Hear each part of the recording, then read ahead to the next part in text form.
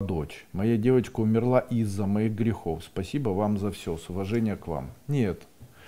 Тибетская система книга мертвых объясняет э, преждевременную смерть человека как событие, которое он сделал в прошлой жизни. Они объясняют это следующим образом. Объясняют это дхармой и грехом дхармы. И что это обозначает?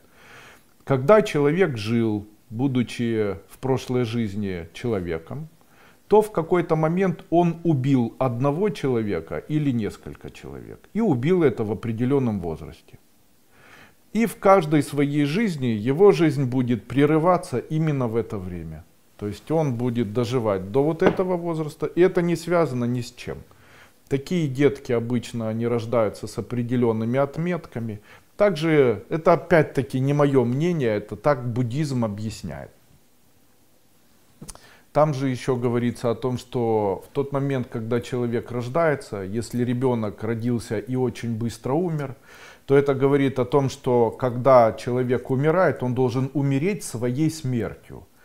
Если человек умирает, увеличивая эту смерть, то есть быстрее умирает, то есть он берет себя и убивает, то тогда он родится, доживет тот возраст. Вот смотрите, ему человеку 30 лет, а ему судьба уготовлена, чтобы он жил до 60 лет. И человек в 30 лет убивает себя из-за чего-либо. После этого в следующей жизни он рождается и доживает 30 лет своей прошлой жизни, и эта жизнь заканчивается. То есть он доживает судьбу прошлой своей жизни. Да. И если, ну, почему рано умирают? Бывает так, что ребенок родился и умер. Вот час не дожил человек.